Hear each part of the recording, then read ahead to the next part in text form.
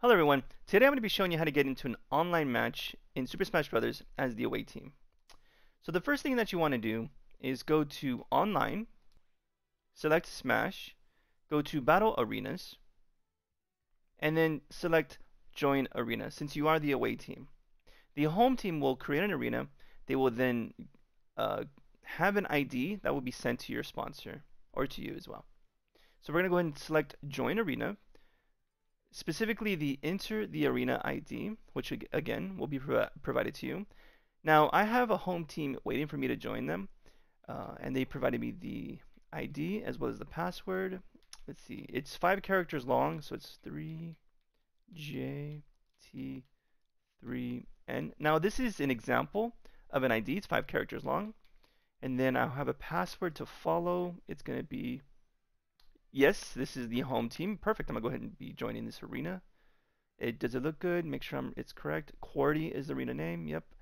On the there's a password. It's team battle. Yes. It's three stock eight minutes. Losers leaves. Perfect. Everything looks great. Yeah. This is the arena I'm supposed to be in. So I'm gonna go ahead and click join. Um, okay, that's fine.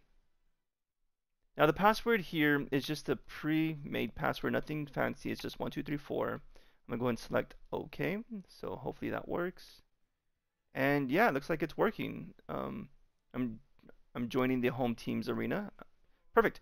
So now that I'm here, I'm the second player. Um, what you want to do is put yourself either in the ring or in the stands. If you're in the ring, you're ready to go. If you need to change characters, you can go ahead and change the fighter here. Oh, I can go ahead and change the preferred stage. Interesting. Well, if this option is available, great. If not, it's also okay. Let's see. If I'm not going to be fighting, I'm going to go ahead and select it here as well. And then I could be spectating while the others are competing.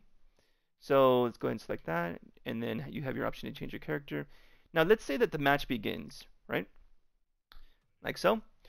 You don't want to be in the exact same team color. So if you're fighting against the home team, what you want to do is make sure you change your color by pressing X. Now if for whatever reason you feel like you can't get it in time or something's wrong, you can always back out of it and then start all over again to make sure everyone who's supposed to be competing is competing or spectating. Great. I hope this video helped you out with joining uh, an arena uh, to the home team's arena. Uh, thank you for watching.